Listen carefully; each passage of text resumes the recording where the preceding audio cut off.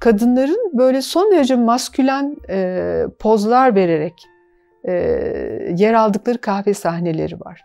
Yani kimi zaman e, bir kadını e, elinde nargilesi ya da tütün çubuğuyla e, adeta bir erkek gibi bağdaş kurmuş ya da bir erkek gibi ayağını bir şeyin üzerine atmış e, görüyoruz. Kimi zaman bir e, kadını e, oturmuş ve elini şöyle koymuş son derece erkeksi bir pozda e, görüyoruz. Bir elinde nargilesi, yanında kahve fincanıyla.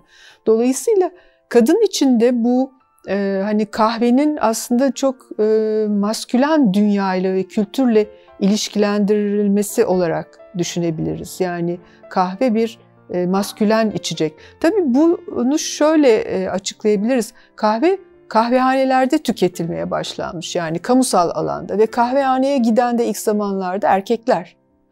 E, yani kahvenin e, evlere, kişisel mekana ve kişisel tüketime geçmesi tabii e, kamusal alanda içilmesinden sonra dolayısıyla hep o kahvehaneler ve erkeklerin tükettiği bir içecek olması onu hep e, masküleniteyle ilişkilendiren bir içecek e, haline getirmiş.